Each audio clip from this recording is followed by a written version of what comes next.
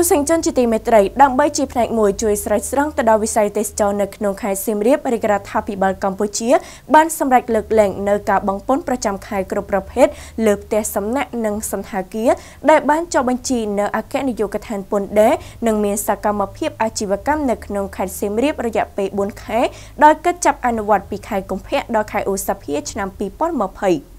ជាផ្នែកមួយជួយស្រោចស្រង់ដល់វិស័យទេសចរក្នុងខេត្តសៀមរាបនៅថ្ងៃទី24ខែកុម្ភៈឆ្នាំ2020សម្ដេចនាយកហ៊ុនសែននាយករដ្ឋមន្ត្រីនៃកម្ពុជាបានសម្រេចលើកលែងនៅការបង់ពន្ធប្រចាំខែគ្រប់ប្រភេទរបស់សន្តាគារនិងផ្ទះសំណាក់ដែលបានចុះបញ្ជីជាមួយអគ្គនាយកដ្ឋានពន្ធដារនិងមានសកម្មភាពអាជីវកម្មក្នុងខេត្តសៀមរាបរយៈពេល4ខែចាប់អនុវត្តពីខែកុម្ភៈដល់ខែឧសភាឆ្នាំ2020សម្ដេចនាយកហ៊ុនសែនបានថ្លែងទៀតថាអាជីវកម្មសន្តាគារនិងផ្ទះសំណាក់នៅតែមានកាតព្វកិច្ចដាក់លិខិតប្រកាសពន្ធអាកតនិងប្រើប្រាស់ប្រព័ន្ធអនឡាញសម្រាប់គ្រប់គ្រងអាកតលើតម្លៃបន្ថែមឬអ៊ីវ៉ាត់ជារៀងរាល់ខែក្នុងរយៈពេលលើកលែងពន្ធនេះការសម្ដែងរបស់សម្ដេចនាយកហ៊ុនសែនធ្វើឡើងក្នុងពិធីថ្លែងសារពិសេសមួយជួនជន់ជាតិខ្មែរពាក់ព័ន្ធស្ថានភាពថ្មីថ្មីចុងក្រោយរួមមានបញ្ហាអនុគ្រោះពន្ធ EBA ពាក់ព័ន្ធមេរោគ COVID-19 និងបញ្ហាមួយចំនួនពាក់ព័ន្ធសេដ្ឋកិច្ចនៅវិមានសន្តិភាពសម្ដេចនាយកហ៊ុនសែនបានថ្លែងយ៉ាងដូចនេះថា រាជរដ្ឋាភិបាល ដាក់ចេញនៅវិធានការសម្រាប់ជួយគ្រប់គ្រងវិស័យទេសចរដោយខាងក្រោមទី1លើកលែងនៅការបង់ពន្ធប្រចាំខែគ្រប់ប្រភេទរបស់សន្តាគារនិងផ្ទះសំណាក់ដែលបានចុះបញ្ជី ជាមួយអគ្គនាយកដ្ឋានពន្ធដារនិងមានលក្ខណៈនិងមានសកម្មភាពអាជីវកម្មក្នុងខេត្តសៀមរាប សម្រាប់រយៈពេល4ខែ ដោយចាប់ពីខែកុម្ភៈរហូតដល់ខែឧសភា ឆ្នាំ2020អាជីវកម្មសន្តាគារនិងផ្ទះសំណាក់នៅតែមានកាតព្វកិច្ចដាក់លិខិតប្រកាសពន្ធអាករនិងប្រើប្រាស់ប្រព័ន្ធអនឡាញសម្រាប់គ្រប់គ្រងអាជីវករអាករលើតម្លៃបន្ថែម ជារៀងរាល់ខែ ក្នុងរយៈពេលលើកលែងពន្ធនេះ ការលើកលែងពន្ធនៅទីនេះ គឺមានន័យថារដ្ឋទទួលបងពន្ធជំនួសព្រោះយើង គឺធ្លាប់បានបងពន្ធហើយ យើងមិនអាចហៅពាក្យថាលើកលែងតែនៅទីនេះ ដើម្បីងាយស្ដាប់តែប៉ុណ្ណោះគឺប្រើពាក្យលើកលែងនៃការបងពន្ធប៉ុន្តែធាតពិតរបស់វា គឺរដ្ឋបងពន្ធជំនួសរដ្ឋបងពន្ធជំនួស អ្វីដែលយើងធ្វើនៅពេលនេះមិនក្របដណ្ដប់ទូទៅនោះទេអ្វីដែលសំខាន់គឺយើងធ្វើនៅក្នុងខេត្តសៀមរាបដែលជាខេត្តមួយភ្ញៀវទេសចរបរទេសធ្លាប់មកកាន់ទីនោះប៉ុន្តែឥឡូវនេះភ្ញៀវទេសចរមកកាន់ទីនោះគឺធ្លាក់ដល់កម្រិតមួយយ៉ាងខ្លាំងទី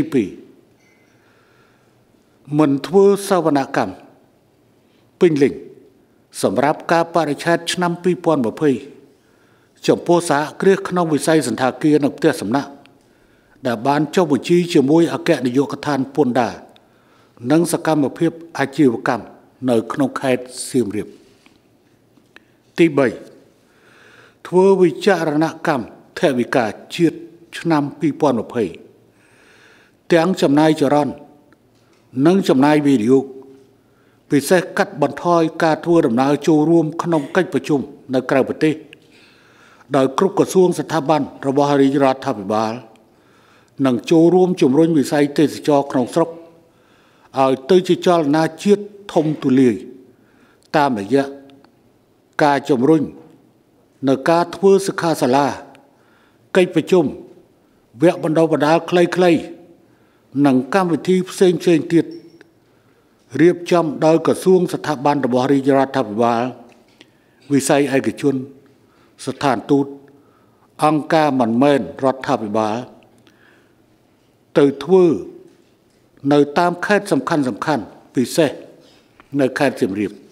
ការមិនធ្វើសវនកម្មពេញលេញសម្រាប់កាលបរិច្ឆេទឆ្នាំ2020ចំពោះសហគ្រាសក្នុងវិស័យសន្តាគារនិងផ្ទះសំណាក់ដែលចុះបញ្ជីជាមួយអគ្គនាយកដ្ឋានពន្ធដារនិងសកម្មភាពអាជីវកម្មក្នុងខេត្តសៀមរាបក៏ត្រូវបានសម្ដេចនាយកហ៊ុនសែនបញ្ជាក់ពីការអនុគ្រោះផងដែរក្រៅពីវិធានការលើកលែងផ្នែកពន្ធនេះមានវិធានការមួយចំនួនទៀតត្រូវបានដាក់ចេញដោយសម្ដេចនាយកហ៊ុនសែនដើម្បីស្រោចស្រង់វិស័យទេសចររួមមានការជ្រើសរើសយកខេត្តសៀមរាបសម្រាប់រៀបចំកិច្ចប្រជុំផ្សេងផ្សេងជំរុញឲ្យក្រសួងទេសចរនិងស្ថាប័នពាក់ព័ន្ធបើកយុទ្ធនាការរៀបចំសកម្មភាពនិងព្រឹត្តិការណ៍តាក់ទាញផ្សេងផ្សេងក្នុងខេត្តសៀមរាបការបង្កើនចំនួនថ្ងៃចូលទស្សនាតំបន់អង្គរជូនភ្ញៀវទេសចរដែលទិញសម្បត្តិចូលទស្សនានិងបណ្ដុះបណ្ដាលជំនាញជូនដល់កម្មករនយោជិតដែលបាត់បង់ការងារក្នុងវិស័យទេសចរជាដើមជាមួយនឹងការភ័យខ្លាចជំងឺ Covid-19 វិស័យទេសចរនៅក្នុងតំបន់និងប្រទេសកម្ពុជាទទួលរងនៅផលប៉ះពាល់គួរឲ្យកត់សម្គាល់ក្នុងខែកុម្ភៈឆ្នាំ2020ភ្ញៀវទេសចរបរទេសចូលមកកម្ពុជាបានធ្លាក់ចុះប្រមាណជាង